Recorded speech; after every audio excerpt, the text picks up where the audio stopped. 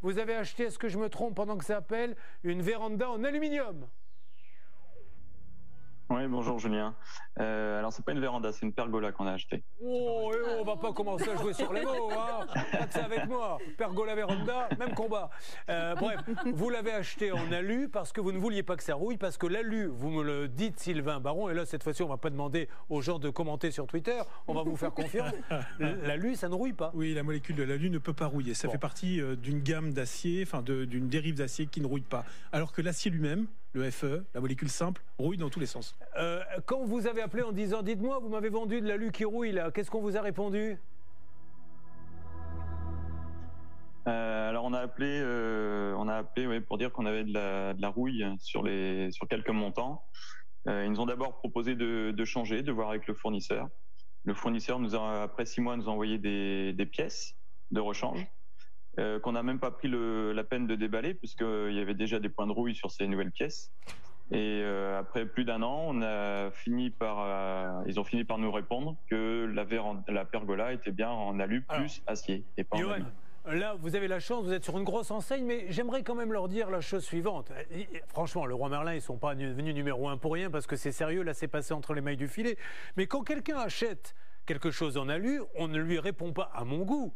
Monsieur, vous allez voir avec le fournisseur. Le fournisseur, c'est pas son problème. Son problème, c'est qu'il a choisi le roi Merlin plutôt qu'aller chez Castorama ou Bricorama. Donc, il faut justement dire merci à, à- à ce monsieur en lui disant on vous rembourse tout de suite, on vous en donne une autre, mais c'est pas à lui de gérer le problème.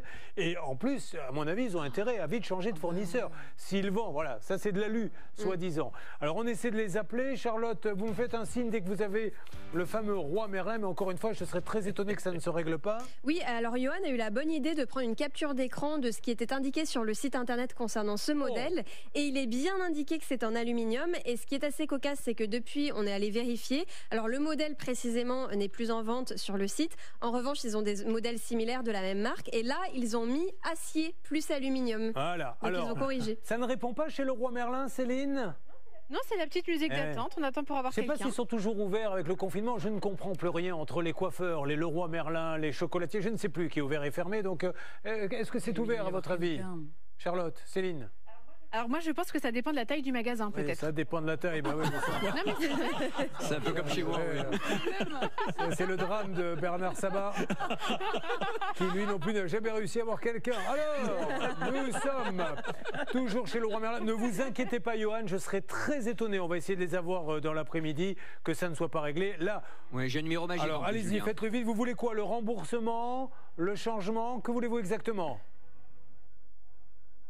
Non, Bah là maintenant, euh, c'est oui, on demande le, le le remboursement et qui récupère Allô, la madame Entendez-vous? Oui, Madame de Leroy Merlin oui. Alors, Julien Courbet, nous sommes en direct sur M6. Malheureusement, je suis en fin fin d'émission. Je vais vous passer quelqu'un qui a commandé chez vous une pergola en alu et il se trouve qu'elle n'est pas en alu puisqu'elle rouille. Et aujourd'hui, il voudrait euh, le remboursement ou trouver un accord. Si vous pouviez nous arranger ça pour qu'on annonce les bonnes nouvelles d'ici la fin de la semaine. Bernard, récupérez l'appel. Bon, allez, Johan, vous avez ma promesse que d'ici la fin de la semaine, on va régler tout ceci. Alors, nous, au moins, s'il y en a une sur laquelle il n'y a pas de, de problème sur les origines, c'est Karine.